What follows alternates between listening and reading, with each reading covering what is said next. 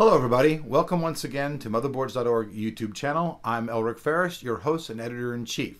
Well, check it out. Everybody knows now that the Sandy Bridge has launched. Now, we did a review on two of the CPU slash GPUs that have come out. We covered the 2600K and the 2500K, but there are actually many more of these coming out. So today, let me introduce you to all the desktop models that Intel is releasing here on January 4th, 2011. Check this out.